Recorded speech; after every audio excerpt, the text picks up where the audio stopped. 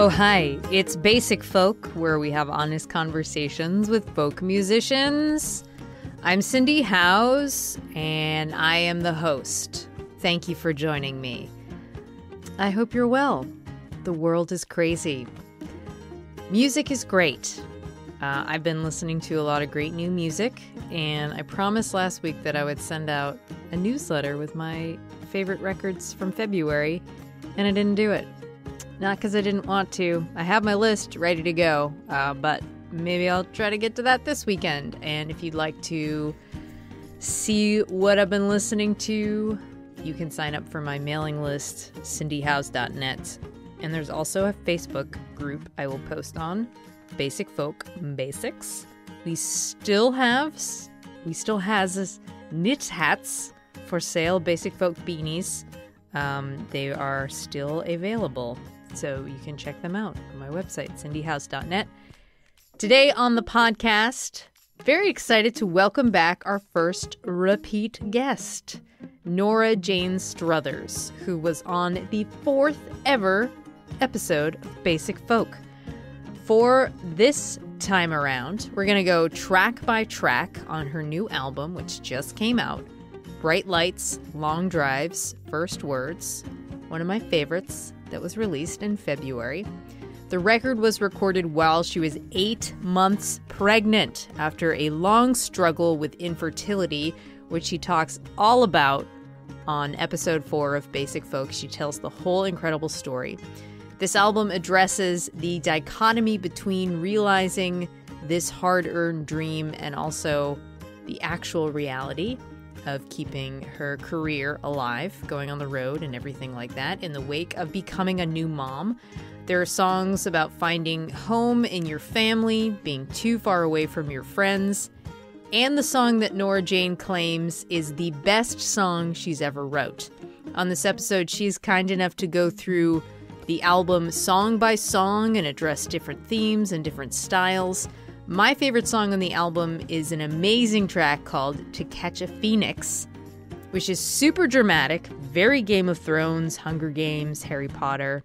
So, Nora Jane is so smart and so well spoken, and she's also very funny in and she has a very dry sense of humor in a way that sometimes I'm like, "Are you being serious?" and I'm like, "No, she's just joking." And it's she's very funny when she's like breaking down the metaphor of how you catch a phoenix line by line, like very straight face. And I'm sitting there, like listening to her with my jaw on the floor. It's like very cool.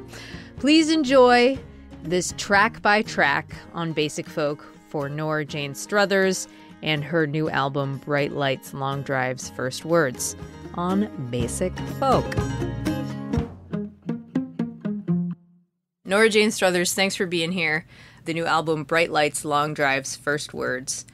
And we're doing something different on the episode today because you have been on Basic Folk before, one of the very first guests that we had on. Woo! And it was a very fun interview, and we learned so much about you. But I want to talk specifically about this album today and do like a, a track by track and get some background information. Uh, it's a great record. Thank you. And I have like some specific questions about what was going on at the time with you but if there's anything that you might have been listening to or watching or reading when you were writing these songs that might have crept in as an mm. influence. That's such an interesting question. I um so yeah, I wrote the record um really between January and September of 2018 and then we re- we recorded it in November. So I wrote the songs over like a 9-month period. I don't know. I to be honest with you Cindy, I really like don't when I'm when I'm writing, I don't listen to a lot of music. Um, for this, this is so lame, but it's the truth. For like the second half of the months when I was writing these songs, I was listening to the Harry Potter audiobooks. Narr- oh, they're so good. Narrated by the one and only Jim Dale. Oh my god. Because I was pregnant and I was like trying I like I specifically didn't want to be taking in like media or entertainment that would like raise my adrenaline levels mm. um, because I thought that would be like negative, that would negatively impact my fetus. Mm-hmm. Um, because I've read things about that, how if you are like pregnant and in a war torn country, all the adrenaline spikes will like cause your baby to, to have like really strong limbs and like less like less of the less of the growth will go to their brain because they're like born like more ready to like isn't that crazy? That is. I know. It sounds like it's not true but it's true. You can look it up. Wow. um, anyway so uh, yeah uh, a lot of harry potter but i don't i don't really feel like that crept its way into my songwriting. But fun fact: yes more of a fun fact. The last time we we spoke, you were pregnant, and that was very exciting because you had had many infertility issues, and it was always a dream of yours to have a family. Um, you recorded the album while eight months pregnant, and I found this this great quote where you talking about like I really recommend being eight months pregnant while you make a record. Yeah. No, I think it was a great experience. I think um, there's a lot about pregnancy that is humbling, and uh, and for someone like me who maybe sort of drives in the lane of control freak a little bit. I mean, I'm not I'm not a control freak, but I'm definitely very comfortable being in control. Um, and I can also relinquish control when appropriate. You know, That's good. yeah. But yeah, so I think but being pregnant like you just you have no control over anything. And so for me it was a real paradigm shift and it sort of it, that uh, experience it really invaded all spaces of my life. And so in the studio I was just like, you know, just kind of letting everything be what it was and that was really that was really fun for me. In a in a it was really fun to just like let it happen and and be witness to it. And then you started this garden, which I want to hear about, where you did all this research and you're trying to take your mind off of things. Is that correct? Yeah, well, some of it was about yeah, some of it was about having a project. I think um, you know, my so my mom's dad, my grand my my maternal grandfather uh, was a farmer and uh and he also ran a fertilizer company, like a bone bone meal fertilizer company in Pennsylvania. And so part of my identity has always been that like we come from farmers. Like I I feel connected to the land sort of vicariously through that family connection. And I and I was thinking about, you know, how if we are about to have our own child, which we were, you know, we had the embryo transfer scheduled for April. So this is like in January and February I'm planning this garden and, and I'm thinking like, you know, if I if we don't have a garden, then it's it's not gonna be enough for like her to have her great grandfather who she's never met and you know what I mean who, who she'll mm. never meet just like I wanted her to have more of a connection to the land because I feel like it it is so grounding and rooting and um so there was that and then there was also just that I like wanted to get into really good shape and I don't like going to a gym or exercising in a traditional sense anymore like I lived in New York and I used to do the whole gym and like you know I used to run every morning and I don't know. It's just so intense and like the whole gym thing. Like it's great. If you love doing it, that's great. I, I associate that that thing with being stressed out since I was like really stressed out when I was living in New York and I would go to the gym to like relieve the stress. So I have this like sort of counterintuitive pairing of stress and working out, if that makes any sense. Yes. So It's like a job, it's not fun. Right. So instead, my you know the way I prefer to get my exercise now is by like building things and like being able to see at the end of it like the fruits of my labor. So yeah, I wanted to get into like I wanted to get into good shape before we did the embryo transfer so that I could be really strong for pregnancy. And um, that like yeah, it took us a whole month to build this garden. It's 21 raised beds. We built a drip line irrigation system. It's like a it's a whole thing. You could water the garden on your phone Yeah. while you're on tour. Yes. It's amazing.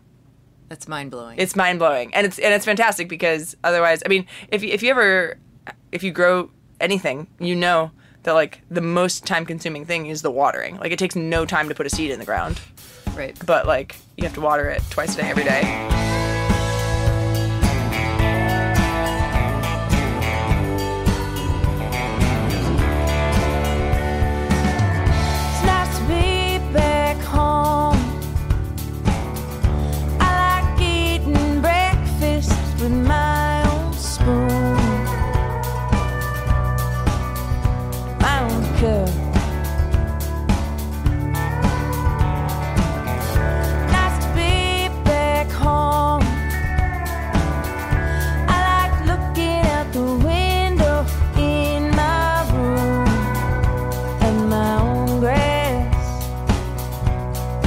Time to cut it down. Okay, let's get into this record. It starts off with a song that you're like, it's a really good driving song. So I'm going to start this one off. It's called Nice to Be Back Home. And from first listen, it's as, it sounds like um, you know you're getting into it, and it's like oh you like to be home, like in your house. But then the next verse seems to be about like someone who travels a lot, but still finds that sense of home. And then the sense of home is in the next verse is actually in your partner. From here, I've got so many notes about this song actually. You had a quote I'd love to not sound like a Hallmark card here, but I fear it's unavoidable. Home is not a place, it's a feeling. My husband and now our daughter are my home. Yeah. Did I get it right? Yeah. Yeah, okay. yeah. That, that's totally true. Yeah. I mean, I feel like you know, there is something about really like walking into your your physical home and the the feeling of that, but it's really special to be able to do what I do and travel around the country and um, travel anywhere and and you know, at the end of the day, just like collapse into the into the arms of my loved ones and feel like, okay, here we are. Nice to be back home. I feel like my old self.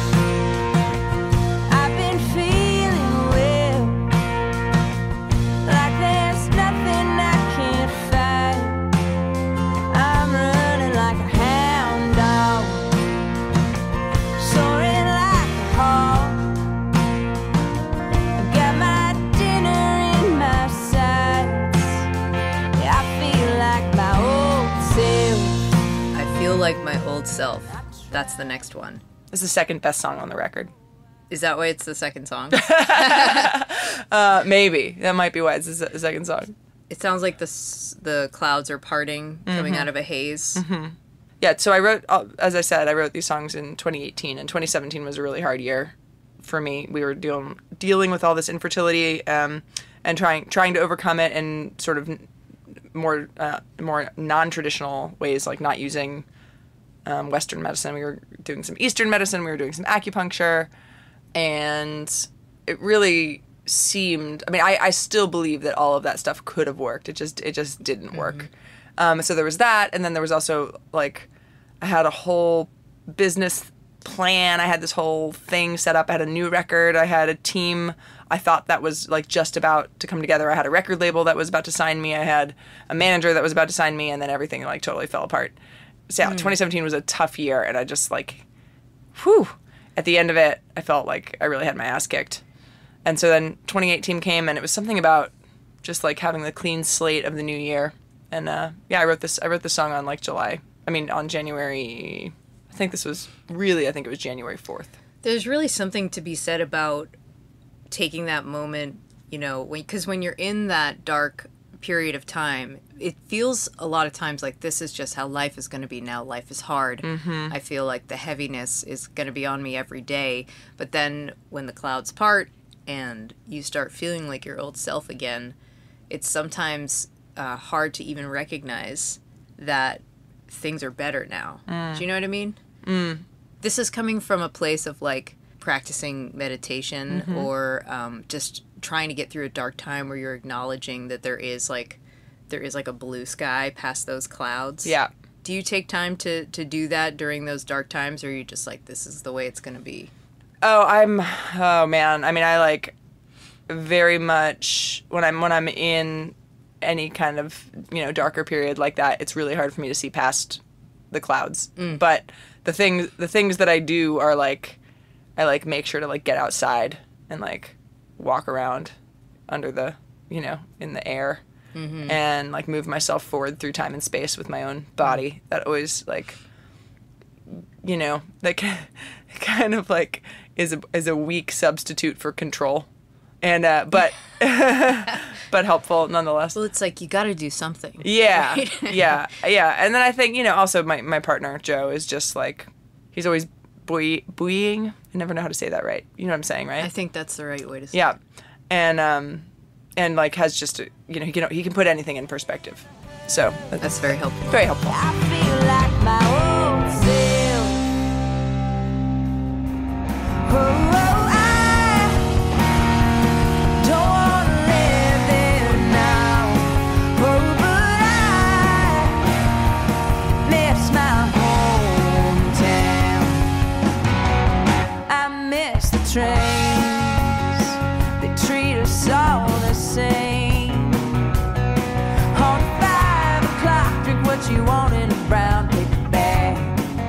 Turnpike, New Jersey. Jersey. Okay, tell me about this song.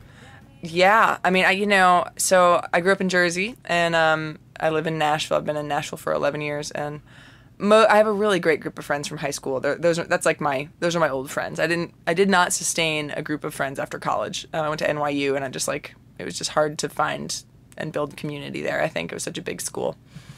Um, but yeah, I've got great friends from high school, and um, I'm like pretty bummed that I'm like missing out on raising my kid in that community because I just love those people so much. Mm. Um, and I also just like love New Jersey so much, but I also I've been living in the South and I'm like soft now. You know what I mean? I like mm-hmm. I don't want to live. Softer than a Care Bear. Yeah, I'm exactly. I, I, I am. I'm too soft. I'm too soft. I mean, I, I can like navigate Jersey really well, and I like love going back. I love the culture. I love the like funny, gruff friendliness of the Northeast. You know, um, but I I also like just it's a lot easier to be in the in the soft friendliness of the South. Right. Yeah, you do make a lot of um, references to how kind of like hard edged people in New Jersey are, Yeah, and you miss that. I do. I like I like how like just like open book people are. You know, in the North. I like I really like that.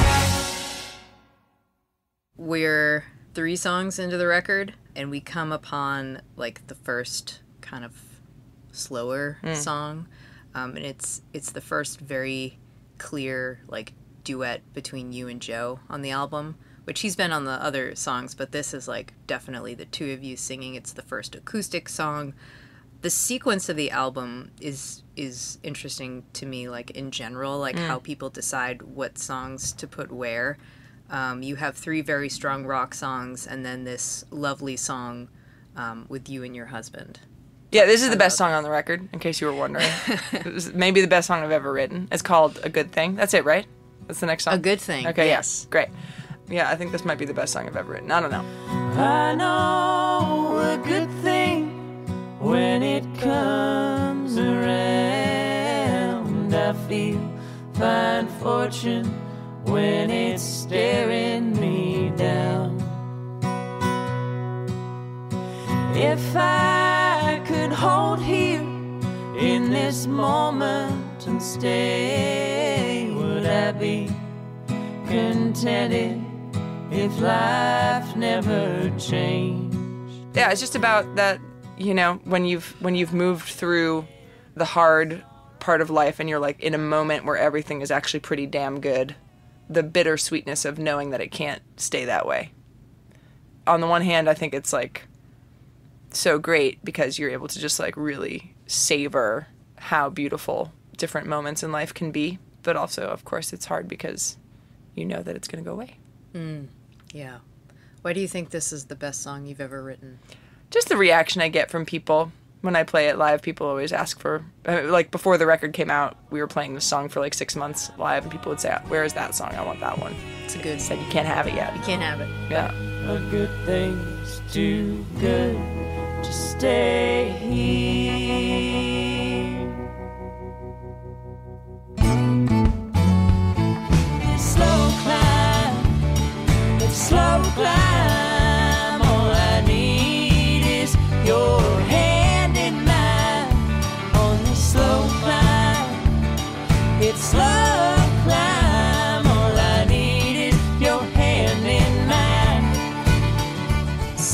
Climb is the next one. A song about working towards something the right way, slowly. As someone who has, who enjoys having control, how do you feel about that process? Oh, it's pain in the ass, man. No, I, I wish. Um, yeah, it'd be nice if things didn't have to be so slow. But they, that's just the experience of that I have in my life. Is that you know, it really, it, it, it is a pain. But honestly, it's so much better because I think about how like like I put out a record in 2015 and like I don't know how I got it into my I got it into my head. My drummer and I both maybe the whole band and, and I got it into our heads that we were gonna like break. You know, we were gonna get like big off this record. This was gonna be the record. Um, we got it we got like a big booking agent. You know, we just we were feeling like this is it, man. And um and I think about it, you know, now and oh my gosh, thank goodness that wasn't the record that like made us big because we were, I don't know, We're just not ready to handle anything like that. So, um, uh, but just in case you're wondering, we're ready now. Ready now. yeah, we're ready now. Um, no, but I think yeah, I think that getting like building something from the ground up and building it yourself is a great way to go through life. And it's funny because I when I wrote the song, I was really feeling like it was more of a like secular gospel. I I was feeling like bluegrassy about it, you know, because I come from like a bluegrass background, mm-hmm. and I was like, my band's never gonna play this. But I, I have the philosophy that if I start writing a song, I need to finish writing it just to like get it out so I can move on to the next one, you know. And I was like, I'm just gonna finish it, and like my band, like I thought it was good. It was not that I thought it was bad. I just didn't think that we would play it. So in that way, it's like a little useless, you know. And uh, and then I like sent it to my bandmates, and they were like, "No, this is gonna be sweet. Like we just need to we just need to like change the feel." And I was like, "Okay, right on." That's great. Yeah. It's so fun.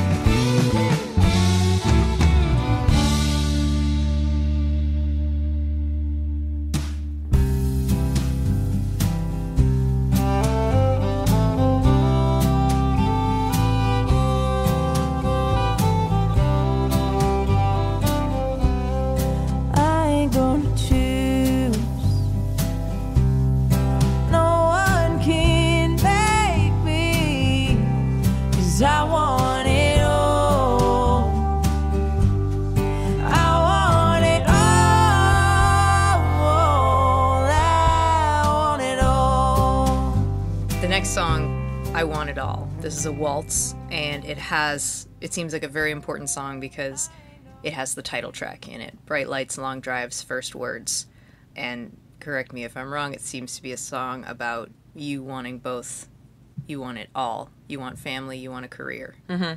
I was trying to think about this, and I wanted to know about your experience if you had anything like specific in your life where somebody told you that you couldn't have both. Oh, I mean, I just I think it's just a societal expectation that um Yeah, it seems like not even something that's like overt. yeah, I mean, it, it, well, and and also just realistically, like I think it, it's I think it's challenging to to have a career and a family. I think that everybody who does it agrees that it's challenging, and you know, of course, the burden is like. And, and I don't burden is not maybe the right word, but the, the well yeah the burden of the choice is so often like put on the mother, um, if only if only because she may or may not be nursing, and like the amount of time that that takes away from uh, the, the way that that requires you to be physically present is different than for a father. I feel like so far we've been uh, able to balance balance. I don't know. I'm, I'm, I'm like hesitant to use the word balance to just do both, and uh, yeah. I mean, I guess there's some pretty good balance. I'm really. I mean, I'm really lucky. My husband is in my band, and you know, he's not only is he like just the best human ever, he gives me so much space to do what I need to do. So, Is the baby on the road? oh yeah, we bring her with us. Yeah, How old is she now? she's 14 months and she's the cutest. I love all the um the the pictures and videos you put on Instagram where like you and Joe are being like so adorable and cute, and she's just sort of like hard, she kind of like hardly knows that she's alive, but it's like a, a, a cute confusion. I like it. All.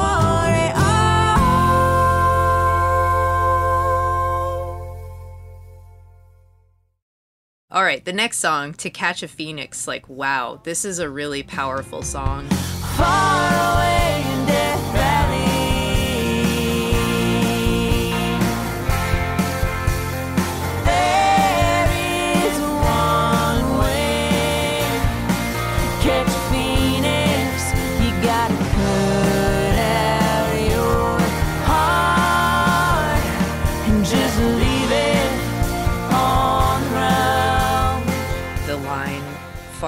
Death valley there's one way to catch a phoenix. You have to put out your heart and leave it on the ground and then you're like talking about like you can't stitch it up you just gotta leave it out there and hope that you're strong enough. Um, so this song seems like a different type of writing for you like it's kind of zoomed in on the poetic telling of pain. Yeah, it's definitely you know it's definitely the the the lyrical style is is way different than anything else on the record. I feel like strangely self conscious about it. We almost didn't put it on there. We this is one of two songs that we really sort of worked up in the studio um, with the band. Everything else we were like played out on the road and got really comfortable with and. Um, I sort of threw this one in last minute, um, and it's definitely like you know, it's kind of like Gabriel Garcia Marquez-y. It's like a little magical realism going on with like it's like a quest. This is where the Harry Potter came through. This is where the Harry Potter came through. There it is. because I was thinking like it would be a good. I was writing like trying to think of like a good movie that would be good for it, and I thought like Hunger Games Ah. would be good, like something that's like very like passionate, where the protagonist is sort of like cutting off emotions. Uh-huh. Yeah. Yeah, I guess that must be it. I really have had Gabriel Garcia Marquez in my head the whole time, but like, no, it's totally Harry Potter. I love that. So about this song, and I I think I might I, I got the lyrics to the record late, so I think I might be missing the part. Do you ever catch the phoenix in the song? Uh, it's it's it's open ended. You may or may not catch the phoenix. Um, actually, no. I think in the song, no, it's it is open ended. But I think in the song, um, the phoenix like, no, I think the phoenix gets away. But but what it leaves behind is like the your it eats your heart, right? So the, the way the way you do it okay. is you cut out your heart okay. and you got to be in Death Valley and like you know in the salt, you know the Yeah. salt pan situation. All right, you cut out your heart and you leave it on the ground and, and you hope like it's still beating and you hope it's beating loud enough for the phoenix to come and like to, to hear you. Mm-hmm. And if it comes, it might not choose you, and if it doesn't choose you, it just flies away. Oh no, so it does. It does choose you. So, but if it does choose you, it eats your heart and leaves behind the little glowing heart seed. Right, and then you have to put the heart seed. It flies away after it eats your heart. It puts your heart seed back in your chest, and you and then you have to sew it up. And like, if you're lucky, like a, a flame will ignite, and then you will, like, get to grow a new heart. And it's all you know. It's about it's about how you have to. Just, if you want something, you have to go This go is- for it. This is some sci-fi, Yeah. fantasy stuff. Got to go for it. One more question: Why Death Valley? Is that where the Phoenix? Well, just because the word death, really. Just like you know, the idea that like through through death is rebirth. it's a great song. Mm. It's very goth. Thank you. This next song, Can go to Hot Topic and listen to it. totally. to Catch a Phoenix, playing in a mall near you. So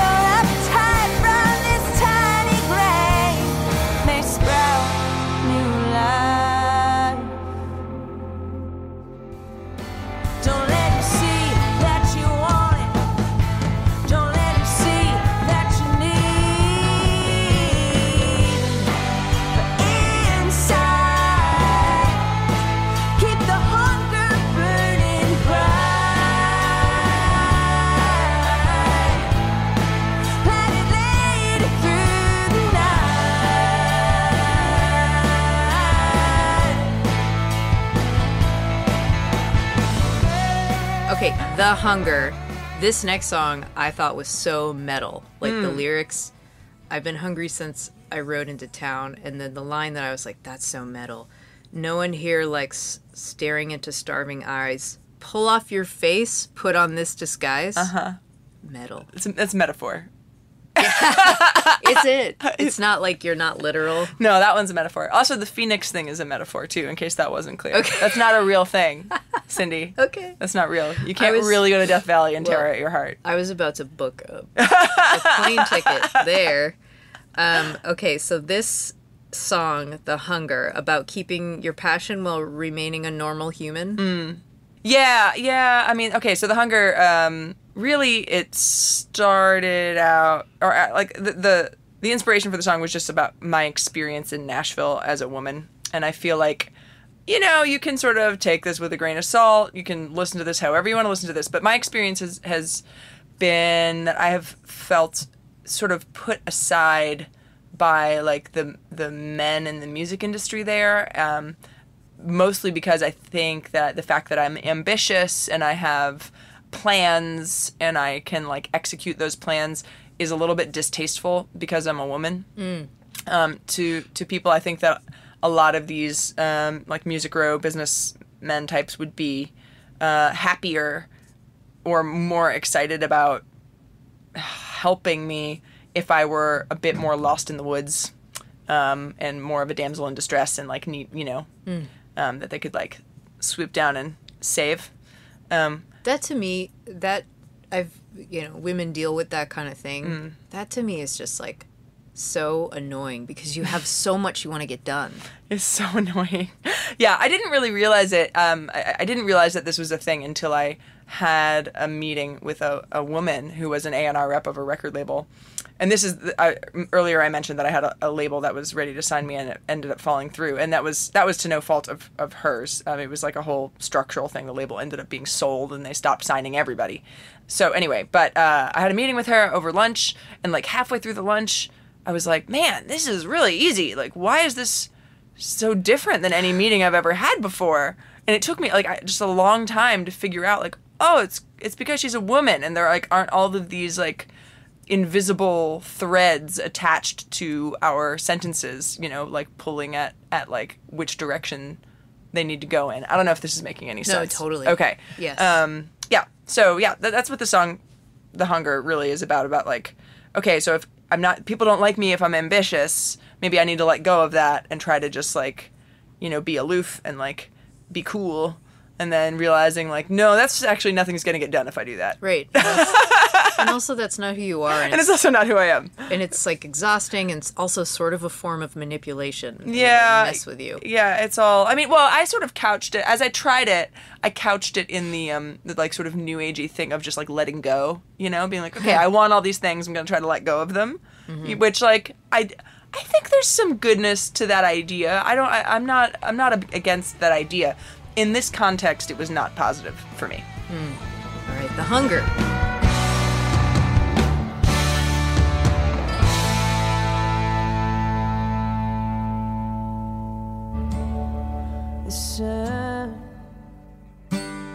And the stars are just like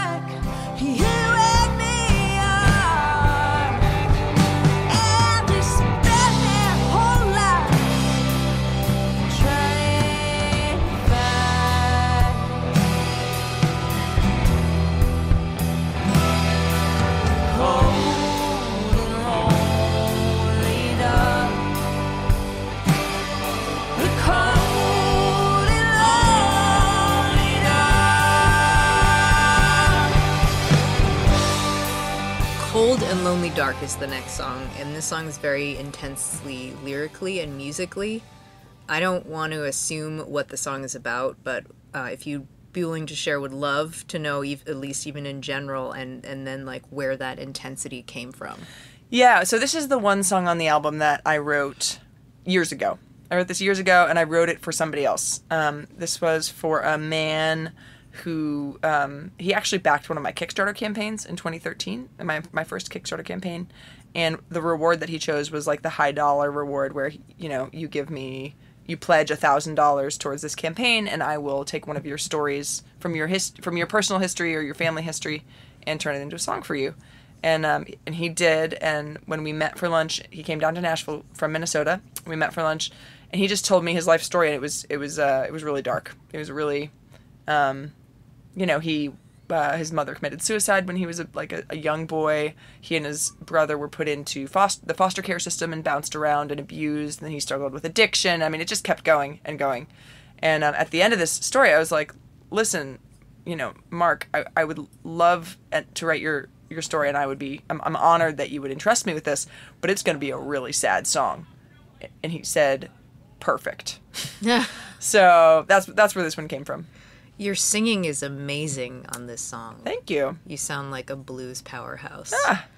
How how did you stretch yourself vocally for this song? Are you just like "Ah, I sing like that? No, yeah, no. I actually um I, I wrote the song with this the melody that as it is on the album, and I really didn't feel comfortable or like I didn't feel like I like had the vocal power to do it until this record. Um, Wow. so that yeah, I don't know. Just you know, hopefully I keep getting better over time and sort of grew into it maybe. Did your voice change at all after you had your baby? During the pregnancy, I, I think I was able to sing higher, more comfortably, and I think maybe still. It was pretty funny. I don't know. Hormones are crazy. Pushing on your abdomen. Yeah, I don't know. Come on, mom. okay, that's cold and lonely dark.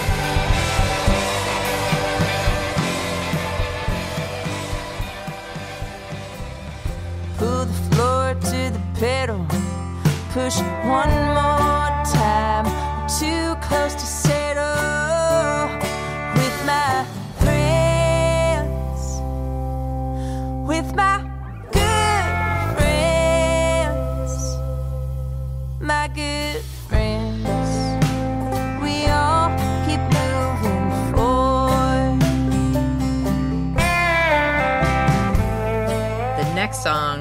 Good Friends, dedicated to is is this about the New Jersey friends again? No, actually, I mean, well, yeah, they're they're in my mind, but I really wrote this for my drummer.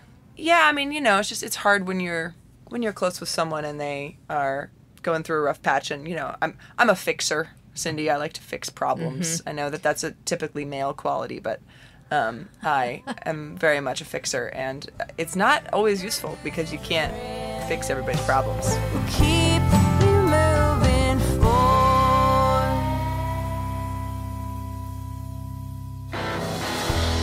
The next song is called We Made It, um, a positive song about survival. Oh, we made it to the other side.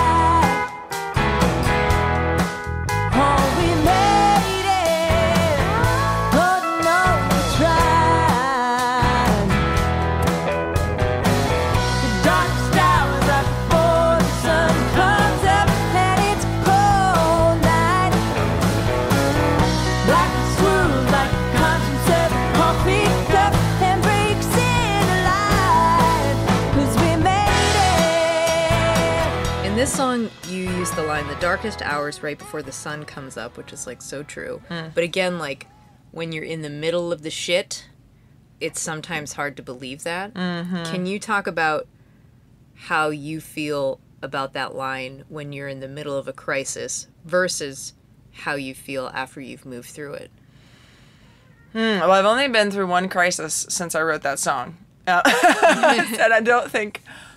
Yeah, I mean, So I would imagine after you wrote that line, you maybe were past the crisis. Mm-hmm.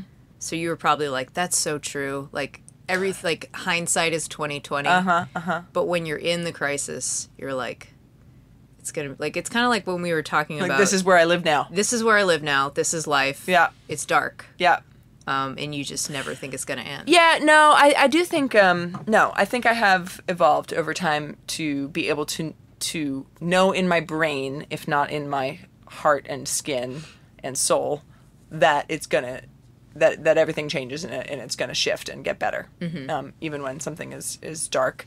And I you know I wrote about that on my on my 2015 record. It's the the, the first song is called um, "The Same Road," and I always introduce that song by just talking about how like you know when you go through something hard, you get to the other side of it and you think, oh okay, I had to go through that to get here, and then I I think that I think I am able to bring that forward and say as I'm going through something difficult, be like, well, you know what, this is gonna end, and like when I end up on the other side of it, I'm gonna understand like how this shaped me in a good way. And you say about this song, We Made It. You say, I love my band. I love rocking out. I love the energy we create and give to the audience, and they give it right back to us. So it's really important for me to have songs like We Made It on every project. Do you have like a descriptor, like the rocking out Nora Jane songs? Yeah, yeah, it's just like like a tune where we all rage. It's like a rage song. Do you intentionally write a rager? I I make uh well no I don't intentionally I can't like sit down and be like okay I'm gonna write a rager like and even when I wrote this it wasn't a rager it was like super lame when I wrote it like just the on the guitar I was playing acoustic guitar and I was playing it in this like really square way but I I could like I knew in my bones that it was a good song and that I just needed to change how I was playing my guitar but um in the but I wasn't worried. Yeah, that's the thing. Like when when I'm in the moment, when I'm writing something, I'm not gonna worry about all that stuff. I'm just gonna like get the song out, like do whatever I need to do. I'm not gonna I like postpone like I, I all judgment and like just I like pin it up to the ceiling and just like let myself move around down here without without hindering myself, um, because it, anything can be tweaked later. You know. Yeah. All right, that's We Made It.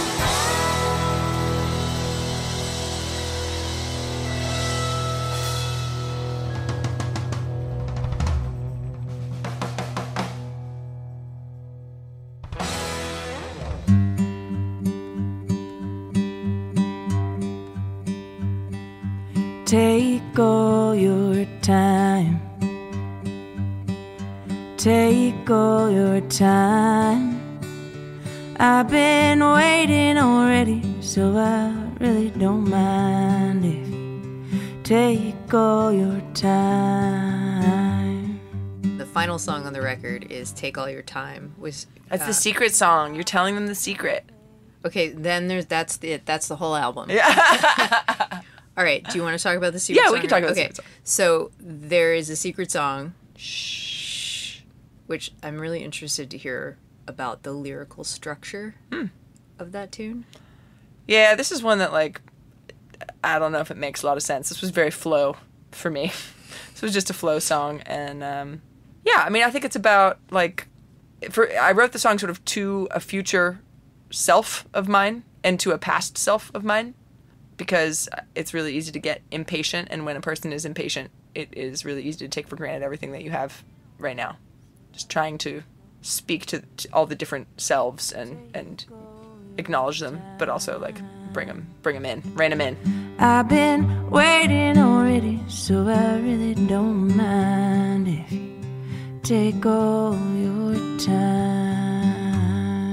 Great. Well, that's the record, and it is out now. It's everywhere. And before we let you go, so the last time you weren't here, we did not get a chance to do this because it hadn't wasn't doing it yet. It's mm. called the lightning round. Okay, So I'm going to ask you some fun questions. Okay. You ready? I'm ready.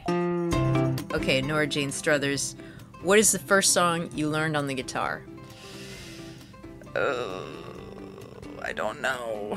I don't know. The first one I can think of is um, which is a really hard song, so it certainly wasn't the first one. Is the Bo- is the Boxer by Simon and Garfunkel. Oh, wow. What is your vocal register? In high school, I was a lyric soprano and I sang opera, and right now I sing folk and I sing really low. Love it. Um, what's your karaoke song? Ooh, um, Pearl Jam, uh, daughter, Dogs or cats? dogs. That face. I'm allergic to cats. What is your coffee order? It's so lame, Cindy. It's a decaf americano. Something. Lame. Favorite U.S. city? Pass. Yeah, okay. First album you bought with your own money? Maybe like Alanis Morissette. Me too. Sweet. Um, first concert? First big concert was. That's actually why I answered Alanis Morissette because I first big concert was Alanis Morissette. Nice. Uh, dream collaboration? Ooh. Number one dream collaboration. Are there more? There's so many. Top three. Oh gosh. I mean, I really want to sing with Willie Nelson and Iris DeMent, and I'm counting that as one, Okay. even though it's not one. That'd be amazing. This is too hard. Uh, something with Eddie Vedder or Tim O'Brien, who I actually know, but I still he's my he's my number one. Tim O'Brien. He's like folk. You know Tim O'Brien. Of do you- course, Okay, yes. great. Okay. For when you have a baby, gender reveal or wait to find out? Oh, I mean, I could not wait.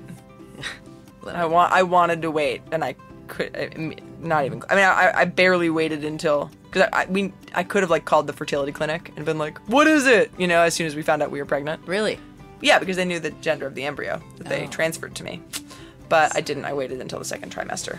Um, Star Trek or Star Wars?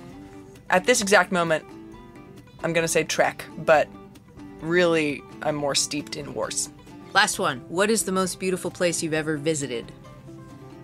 So many pretty places. I don't know. First thing that pops into your head. Uh, there's this, this the river in the Shenandoah Valley. Nice. Yeah. Great. I asked that question because then I'll plan my trips for my life Mm-hmm. based on people's questions. Yeah. Nora Jane Struthers, you have done the lightning round. Thank you so much. Thanks, thanks, Cindy. Thanks for um, doing this experiment with me for the new record, which is out now Bright Lights, Long Drives, First Words. Thank you for having me. Basic Folk this week was produced by Adam Corey. Thank you, Adam. You are a rock star. Laura McCarthy, also producer on Basic Folk. Our business manager is Lindsay Myers. Alex Stanton of Townspeople does our music. I'm Cindy Howes, and I've been the person talking this entire time. It was me the whole time. Thank you for listening to this podcast. Please share it with your friends if you enjoyed it post about it on your social medias, and we'll talk to you next week. Okay, bye.